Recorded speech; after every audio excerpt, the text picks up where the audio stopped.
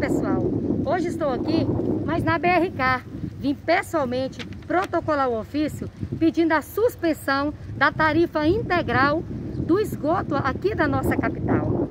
A gente sabe que o cidadão está passando por um momento difícil, de crise do Brasil inteiro, a falta de emprego, do alimento na mesa e não tem como o cidadão palmense pagar mais essa conta.